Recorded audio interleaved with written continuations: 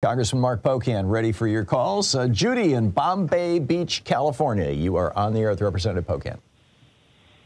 Good morning and happiest of the New Year's to you both. I appreciate you both so much. Thank you. And this is really a comment, not a question, and I have two of them. One of them is, you know, Medicare Advantage. I've heard you both talk about this a lot, and I've never heard anybody explain. My friend, excuse me, who was on Medicare and had a supplemental, and by the time her supplemental kept going up, and so by nine years in, her supplemental was $300 a month, and she couldn't get a cheaper one. so her only option was to sign up for Medicare Advantage. It's the only way she can could afford it. So I just thought that was something I've never Yeah. heard anybody say on the show before. Yeah, it's it's horrible. So, and I don't know what can be done about that other than just keep rooting for Medicare for all. And the other thing is that um, when so I had health insurance under my husband's uh, when he retired from the government, and then he decided to leave me after you know we were on that for uh, like five years, six years. So when I had to sign up for Medicare, I got penalized for the six years that I was not on Medicare because they don't see divorce as a critical life change like they do death or something like that. So I think that needs to get in Yeah. somewhere in the Medicare thing because you, it's not, you know, you don't, it, it, unbeknownst to me or anyway, you know, anyway, you kind of suffer the, the consequences Right. of someone deciding they wanted to walk away. So those are just the two things about Medicare I wanted to say this morning. Well, thank you, Judy. You said them very well. Let's hear. Let's let's see what Congressman uh, Pocan has to say about it all. Thank you.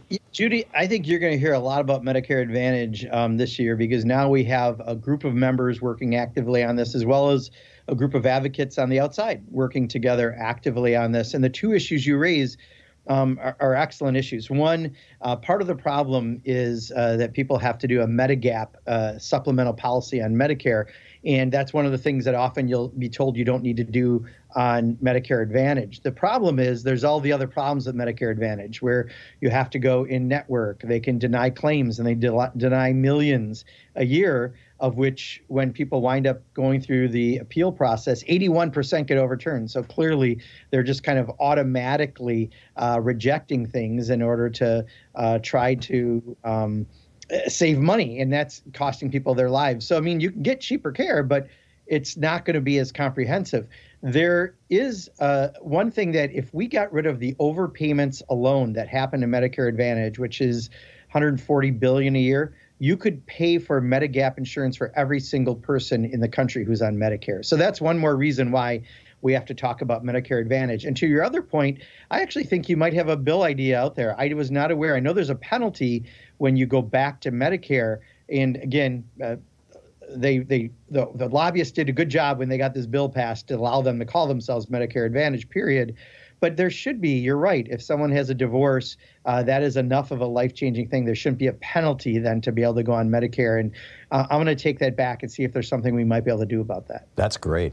Congressman, do you think that if it was widely known in the United States that in 1966, when Robert Ball was writing the Medicare legislation, um, the original Medicare proposal was 100% coverage, you know, for people over 65. And the Southern racist senators when it came to Lyndon Johnson and said, uh, and, and Robert Ball, and said, uh, we will oppose this unless you can put something in there that will present a significant barrier to poor black people showing up in our all-white hospitals and all-white doctors' offices.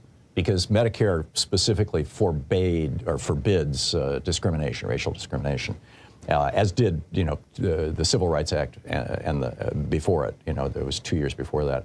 So the only reason there's that 20% hole in Medicare is because that's what the Southern senators wanted on the assumption that poor black people wouldn't be able to come up with the 20%, so they wouldn't bother to come into the doctor's office or the hospital.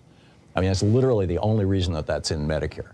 Um, do you think that if people generally knew that, that there might be a movement to try to strip that out and just basically do away with Medigap? in a normal Congress, yes, this isn't a normal, right. Um, but you know what you say makes perfect sense, and if we were able to express that and figure it out, We have another way we're working on. We our, our consortium is actually really trying to focus on this Medigap. I mean, as much as we also want to expand Medicare to dental, vision, and hearing, which should be covered as well because they're all medical conditions. This Medigap is the one I think that um, we've got a couple ideas that we're working on right now, and uh, we are trying to address. But this Congress, I mean, with a two-seat now majority instead of a five-seat majority, not much is going to get done. Yeah, I totally get it.